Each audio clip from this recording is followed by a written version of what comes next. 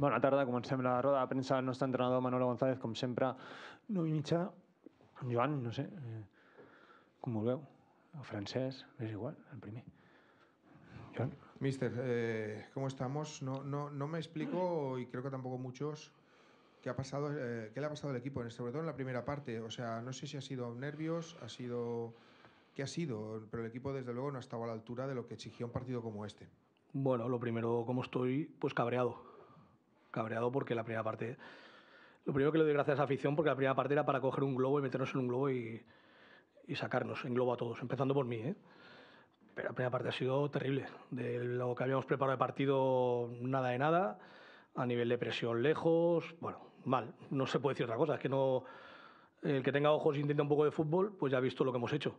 Segunda parte mejor, hemos presionado más altos, con el riesgo que tenía, porque al final nos hemos metido a apretar muy arriba con los dos puntas, dejando espacios, pues que ya era lo que tocaba. La verdad que si lo haces con un poco de criterio deportivo, igual no tocaba hacer eso, porque te exponías demasiado, pero es que era la única manera de, que, de hacer que, que fuésemos hoy, metiendo gente por delante del balón, metiendo gente arriba. Y, bueno, lo que nos ha faltado después es meter mucho más centros, mucha, mucho más balones al área, porque ellos cada vez que metíamos un balón al área sufrían y nos ha costado entenderlos, que hoy no era un partido de juego posicional, era un partido de transitar rápido, de encontrar rápido por fuera y buscar el área. Eh, en ese aspecto, eh, el hecho de que Aguado no haya podido o no lo haya contado usted con él eh, de inicio, eh, ¿a qué se debía? ¿Qué pretendía conseguir con eso? Bueno, el otro día, porque KD estuvo bien en, en Leganés, eh, entonces, pues bueno, es dar continuidad también un poco a los jugadores para que cojan también confianza y demás. Y, y, después porque al final el jugar cada semana pues tenemos que intentar que la gente se lo gane. Al final veníamos también del día de la Roja de Albacete y demás y que el equipo había hecho un buen partido en Leganés, así como en Leganés habíamos hecho un buen partido, hoy la primera parte que hemos hecho ha sido muy mala, la verdad. Hola, Manolo, Joan Camí de, de RAC1. Ara comentaves el tema de la, de la pressió, especialment a la, a la primera part. Per què creus que, que l'Andorra ha tingut tantes facilitats o ha trobat els camins per poder superar la vostra, la vostra pressió? Bueno, primer perquè els jugadors de fora nostres eh, no han interpretat bé la pressió a la primera part, que era tapar sobretot a Alejandro Orellana perquè era el jugador que utilitzen per fer el tercer home i sortir jugant. No, això ho teníem ben tapat, eh, ho tapat Benico, però la sortida per fora, els jugadors de fora nostre tenien que emparellar-se amb els centrals, liberar al lateral contrari, llavors que la pilota anés fora, sortia apretar amb l'interior en cas de que això passés, i això no ho hem fet bé en tota la primera part. Llavors, clar, sempre un jugador superioritat a la sortida, i el que hem volgut, ja que la, primera no sortia bé, ha sigut emparellar-nos i el, la idea de la segona part era tirar, quan la pilota anés cap a, per exemple, a Diego González, Grajera que sortís a apretar, que ha acabat de central per aquest motiu també, que pogués sortir a apretar Rubén Bover, qual, perquè l'única sortida que tenien llavors era una pilota part dalt punxada. En aquest sentit, Grajera és superior a nivell físic a Rubén Bover, però teníem certa, bueno, els jugadors tenen en aquest moment certa por a saltar fort. Quan ho hem fet bé, hem robat, hem pogut atacar, però ja et dic, ha sigut un tema de, de mal posicionament nostre de la primera part. I després, tenint en compte que queden pocs, eh, pocs partits, que està gairebé tot, eh, tot en joc, et preocupa que el jugador noti la pressió en aquest tram final de temporada, especialment aquí a, a casa. Gràcies. Ara, ara mateix a casa, tal com s'està comportant la gent nosaltres, no és per notar-ho, al contrari. La gent ha apretat, ajudat, no li pots demanar al públic res avui, no li podem demanar res, li hem de donar nosaltres, començant pel cos tècnic i seguint pels jugadors. Ara mateix toca donar, oblidar-nos de pressions i d'històries. És que, torno a dir, que avui era un partit, de veritat, que per atacar era per atacar amb pocs passes una pilota fora, una, una trencada des de dins, a, de dins a fora, i tenies o centrada del jugador que trencava, com ha sigut el gol, o una centrada del jugador que tenia pilota que estava alliberat. Però ells han buscat tapar el joc interior nostre, i a partir de que, de que això hem vist que passava, ho hem intentat arreglar, però és que, es, torno a repetir, era per atacar amb tres passades per fora i ficar pilotes dins. El partit estava amb això i, torno a dir, hem tirat molt poques pilotes a l'àrea i faltaven moltes més.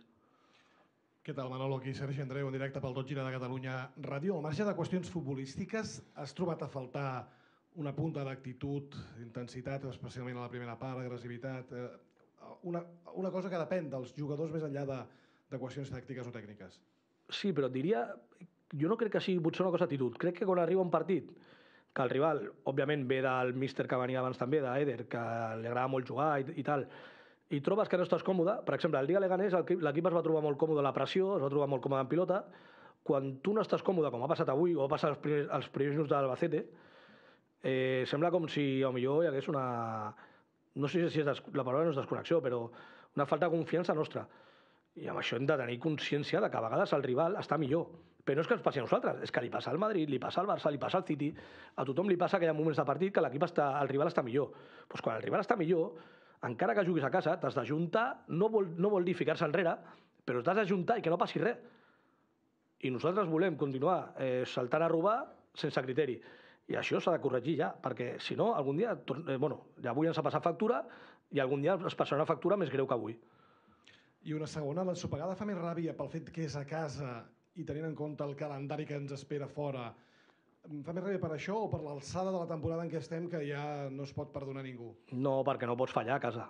Sabem, sabem que a casa, ja et dic la veritat, anar a ells, clar que és complicat anar a ells, però que és més, és més complicat anar al Camp del Burgos? Jo crec que no. Llavors, tots els partits que toquen ara doncs, són complicats per un motiu o per- un altre. I a casa t'has de fer fort i no guanyar a casa és una cagada com hem fet avui. No ha... És que no es pot dir d'una altra manera. Avui has de guanyar. I la primera part no hem fet res per guanyar el partit, no hi ha més.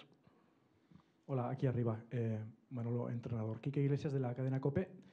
Eh, ostras, cuesta mucho no hacer un artículo de opinión en una pregunta, porque el, el partido da para, da para mucho, pero realmente, ostras, esta aptitud, aptitud con P de, la plantilla, ¿no te preocupa de, mm, de cómo se ha jugado teniendo en cuenta lo poco que queda y lo mucho que hay en juego y que la plantilla otra vez cae en, en jugar un partido así? Que ya pasó con el otro entrenador, por ejemplo. Bueno, eh, ya te digo que partido, momentos de partido y partidos malos van a haber. No a nosotros, le, le va a pasar a todos los rivales. El tema es cuando tú tienes un partido malo, o hay momentos del partido que tú no estás bien, por motivos X, ¿eh? porque fallas dos pases y no tienes confianza. Tienes que tener el suficiente oficio, repito, ¿eh? empezando desde, nosotros a los jugadores, para coger y que en el partido no pase nada. Diez minutos si quieres. Pues diez minutos del partido que el equipo se ponga ahí, se aguante, no meterte atrás, pero sí cogerte, meterte en una zona media y que no pase nada. Y coger un poco de aire, colocarte bien y tener ese punto de seguridad que, que si tú no lo tienes, lo que te hace cada vez que estés más inseguro cada, minuto. Entonces, eso sí que nos, nos falta y lo tenemos que empezar a, a coger. No tener, es que no sé decirte la palabra, ansia o no sé cuál es la palabra, pero coger ese punto de, hostia, de tranquilidad y de saber jugar los partidos y hay momentos de hacerlo un poco más largos. Hola Manolo Elena de Diego de la cadena SER. Cuentas que el plan de partido no ha salido como querías. ¿Hasta qué punto crees que ha condicionado que tú no estuvieras en el banquillo, que los jugadores no sintieran allí tu presencia? Bueno, lo que tengo que intentar es que no pase más, pero yo no creo que haya, bueno, obviamente desde, desde cerca tú puedes dirigir mejor, porque si no al final es mucho más complicado una vez no estás, pero, pero repito, el plan de partido estaba claro y lo que tenemos que empezar a ver, que el día de Leganés lo vimos bien, que eran ataques muy claros por, el- por la zona derecha, hoy por la zona derecha con Iván Gil era una zona para atacar porque a Iván Gil le cueste para atrás, pues saber verlo. Los equipos que nos vean nos van a intentar cerrar dentro. Entonces, o empezamos a ver esto claro o tenemos un, problema. Esa una. Y después, a nivel de presión, no podemos jugar tan separados como hemos jugado la primera parte. Hemos jugado separados de narices, tanto a nivel de distancia de relación como a nivel de distancias entre líneas. Entonces, eso no puede pasar, es imposible. Por muy bueno que seas defendiendo, si tú tienes que defender 50 metros cuadrados, el mejor medio centro del mundo es imposible que lo haga.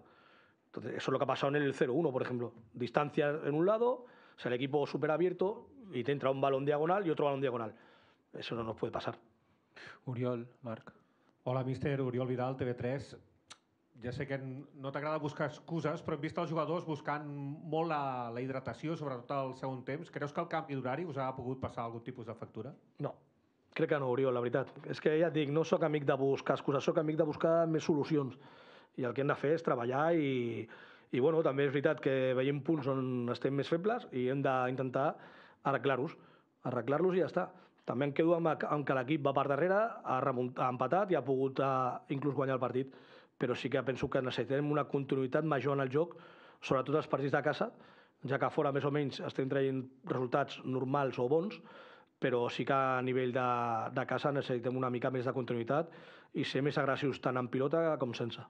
I no sé si et fa especialment ràbia el, el partit de cara a la confiança, ja no només de, de portes endins, sinó també de portes en fora, perquè des de que vas agafar l'equip es veia que la gent començava a agafar-li un respecte a l'Espanyol i avui potser la gent li perd.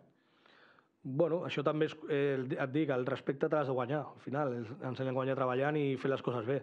Avui, sobretot, és un tema de confiança perquè encadenar victòria, empat a camp del líder i victòria a casa, que hagués anat bé a nivell de confiança i de moral, però torno a dir, per, per guanyar has de fer les coses bé. I avui hi ha alguna cosa bé, però hi ha moltes malament. Llavors, al final no pots guanyar partits, així has de donar un pas endavant i intentar la línia bona que tenim a vegades, doncs mantenir-la en el temps, perquè no val un dia sí o dos dies sí, un dia no. Hem d'intentar que aquesta línia de joc es pugui mantenir una mica més, encara que hi hagi poc temps, encara que tot el que vulguem. Però és que buscar excuses no, no val de res. Hola, mister. Eh, Marc Bernat de AS. Eh, la pregunta. Eh, después de dos empates seguidos, después de la mala, de la mala imagen de hoy, eh, ¿ahora qué? Mala imagen la primera parte, ¿eh? Sí, primera parte. sí, Vale. sí. Eh, ¿Ahora qué? O sea, ¿cómo se levanta eh, el ánimo teniendo en cuenta cómo, cómo se está desarrollando todo y la liga tan apretada que, que está siendo? compitiendo. Es que compitiendo, es que no hay más. Es que a mí lo que me fastidia hoy es que soy una persona extremadamente competitiva y no hemos competido la primera parte.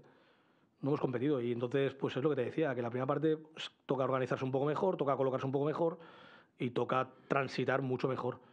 No todo es juego de posición en fútbol, no todo es. A veces es muy bonito, a veces es sensacional, pero es que hoy no era un partido, era un partido de ataques rápidos en pocos pases. Y no lo hemos visto y después no podemos defender tan anchos como hemos defendido hoy. Sí, hola, buenas tardes, señor González. José Agustín de Onda Cero. Eh, ¿Por qué usted ha hablado hace un momento de que el equipo tenía que abrir el campo y aprovechar en tres pases centros, meter balones al área? Tenían a Braithwaite, que una que ha tenido la ha enganchado, estaba también Gastón Valles, las llegadas desde atrás de, de del otro palo. ¿Por qué a este equipo le cuesta tanto meter buenos centros? ¿Porque no tiene espacio suficiente el, centrador? ¿Porque no tiene la superioridad para poder irse y poder hacer el centro en buenas condiciones? ¿Porque no se generan esos buenos centros con otros movimientos? Pues porque primero porque situaciones de centro que tenemos claras no las centramos. Eso pasa. Eh, lo que te digo, porque quizá el jugador en el momento del partido no lo ve, porque quizá nos pensamos que a veces, por la tendencia que tiene el fútbol, nos pensamos que centrar no es jugar tan bien, que ahora parece que lo que te decía, que a veces que todo lo que no sea juego de posición parece que no es bueno, y por ejemplo tú ves al Athletic Club de Bilbao cómo juega, y para mí juega muy bien a fútbol, y no tiene nada que ver con el City, o sea, cada, ¿cómo te diría? Cada cada manera de jugar es buena y es válida, siempre que, que tú lo hagas para ganar. Entonces, sí que hemos, creo que se pueden generar muchas más situaciones de centro, tenemos que buscar mucho más el área y después meter al rival. Hay rivales que con el juego de posición o con el juego interior los vas a superar, pero tal como han planteado el partido el rival, hoy el juego era por fuera y buscar situaciones de área. Segunda cuestión. eh, durante la temporada, los anteriores eh, entrenadores que se han sentado en su lugar han dicho algunas cosas parecidas a usted. En cuanto al problema que está teniendo el equipo para conseguir regularidad, para encadenar una racha positiva de, de victorias, por ejemplo. Cuesta mucho conseguir dos victorias consecutivas, ya no digo tres. El equipo solo en un momento al principio consiguió cuatro consecutivas. ¿Por qué? ¿Por qué este equipo que está llamado a, a ser un equipo dominante eh, o no se lo cree o tiene demasiadas dudas? eh, genera tanta, tanta incertidumbre ah, dentro y fuera. Porque es lo que te digo, porque creo que a veces nos pegamos un tiro en el pie nosotros. Porque la sensación de inseguridad muchas veces la generamos nosotros. Con lo que te digo, con situaciones de, pues de momentos del partido de no coger y entender el partido, de que no te haga... A veces la seguridad solo con que no te hagan ocasiones ya la tienes. Pero claro, cuando tú juegas un partido, te encuentran, te genera una ocasión, te encuentran, te genera otra ocasión, eso genera inseguridad y eso hace que tú dentro del campo no estés cómodo o no te sientas bien. Y eso es lo que hay que intentar eh, cortar. El día Leganés lo hicimos francamente bien, quitando la acción que tiene Portillo en segunda parte y el córner de la primera. Y yo lo que no acabo de detectar, bueno, no acabo de detectar, que voy a detectar seguro, pero lo tengo que detectar porque en casa no nos pasa. ¿Por qué no nos pasa? Porque no tenemos esta sensación de seguridad que tenemos, por ejemplo, como tuvo el otro día el equipo Leganés. Y esto tenemos que intentar, pues lo que te digo, intentar darle una vuelta y, y cogerlo cuanto antes mejor. La última es información de servicio. Nico Melamed, ¿cómo está? Creemos que es una micro, esperamos que no sea más de dos semanas, pero no sabemos aún seguro, pero no, no esperamos que sea una, una situación de gravedad de mucho tiempo. Esa es la última. Sí, mister. A pesar de que hoy yo creo que es un tema más de, de cómo ha estado el equipo y los jugadores, eh, no deja de haber una última jugada que el propio club también ha hecho un tuit al respecto, mm, citando una página conocida como Archivo Bar, eh, en la cual se dice que es un penalti de libro. Estoy hablando de la acción sobre, sobre Gajera. Ya sé que no le gusta hablar sobre los árbitros, pero dígame qué opina. Yo creo que las imágenes hablan por sí solas. Entonces, a partir de ahí, es que ya te digo, entre. Es que hoy en día no podemos hablar, es lo que dije el otro día en la previa. Los entrenadores estamos muertos hoy en día. Por culpa nuestra, de un comité, de- o sea, por un gremio que, que en vez de unirnos, no lo hacemos. Entonces, no puedes hablar aquí, no puedes hablar en el campo, que te están jugando muchísimas cosas.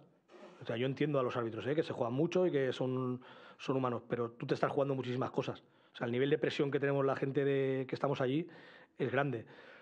Entonces, realmente, Francés, me gustaría decirte lo que pienso, pero es que no voy a poder decirlo nunca. Entonces, prefiero no, no entrar a valorar.